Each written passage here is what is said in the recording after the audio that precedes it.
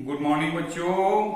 Good morning sir चलो आज देखो हम आपके लिए कितनी अच्छी अच्छी चीज़ें लाए हैं। देखोगे? अच्छा सोन का आ जाओ जरा इधर। बहुत बढ़िया। ये ये सब देख रही हो? अच्छे लग रहे हैं आपको कि नहीं लग रहे? अच्छा तो ये बताओ ये क्या है? गुड़हल के फूल। ये क्या है? गुलाब। गुलाब बहुत बढ़िया। अब देखो हम आप हमारे साथ खेलोगे इनसे? अच्छा तो ये बताओ जरा ये कितनी है? एक दो। अच्छा दो हैं।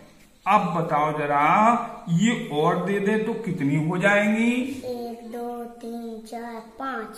शाबाश। अब देखो इसी चीज़ को हम पहले कापी पे लिख लेते हैं। ठीक है? ये पहले हमने आपको कितनी दी थी? दो। ये लिख ली दो। और उसमें ये तीन और मिला दी। तो मिलाने का निशान लगा लेंगे अपन जिसे हम जोड़ का निशान कहते हैं। ठीक है? ये जोड़ का निशान जो लगा हुआ है उसको लगा लेंगे। और फिर सबको मिला के गिनेंगे। अब कितनी हो गई? एक दो तीन चार पाँच। तो जो जोड़ के आया वो हमारा उत्तर आ गया और हमने यहाँ पे पाँच लिख दिया। तो दो और तीन को मिलाया तो कितना हुआ? पाँच। दो और तीन को जोड़ा तो कितना हुआ? वेरी गुड अब हम इन फूलों के साथ खेलते हैं। ठीक है? बताओ जरा ये हम अगर आपको दे दें तो कितने फूल हैं? एक दो तीन। और ये कितने फूल हैं? एक दो तीन चार पाँच छः सात। वेरी गुड और पिछली वाले की तरह अपन इसको फिर से मिला देते हैं। चलो अब कितने हो गए? एक दो तीन चार पाँच छः सात आठ नौ दस। अरे शाबाश! और फिर से वैसे ही कापी में लिख लेंगे। लिख लेंगे ना? तो पहले कितने थे अपने पास? तीन। और हमने फिर कितने दे दिए आपको? सात। तो पूरे मिला के कितने हो गए थे? दस। शाबाश। तो इस तरीके से हमने लिखना सीख लिया है ना? अच्छा अब दूसरे फूलों से खेलते हैं।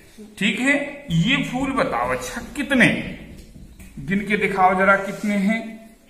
एक दो तीन चार पाँच छ सात आठ नौ। नौ फूल बहुत बढ़िया। और अगर इन दो फूलों को हम इसमें से हटा दें दो फूलों को हटा दें तो कितने फूल बचेंगे? देखो जरा। एक एक दो तीन चार पाँच छह सात। सात फूल। देखो जरा बेटा इसको भी हम लिख लेते हैं। ठीक है ना? इसको भी हम लिख लेंगे।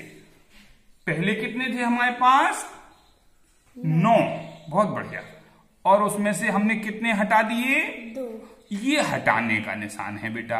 इसको कहते हैं घटाने का निशान। क्या कहते हैं? हाँ तो कितने बचे अब हमारे पास? सात। सात। तो वो लिख ठीक?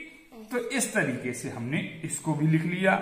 अच्छा चलो अब और नए दूसरे प्रकार के फूल देखते हैं। ये नीले वाले फूल। कितने फूल कितने फूल हैं ये? एक दो तीन चार पाँच। वेरी गुड इनमें से अगर हम ये चार सीधे सीधे हटा दें तब कितने फूल बचेंगे? एक। एक बचेगा। अब इसको हम यहाँ लिख लेते हैं। पहले कितने थे हमारे पास? पाँच। और इसमें से हमने ये निशान काय का है? घटाने का हटाने का ठीक है? और इसमें से चार हटा दिए। तो हमारे पास कितने बचे? एक। शाबाश तुम तो बहुत होशियार हो गई। अब तुम जा सकते हो। शाबाश।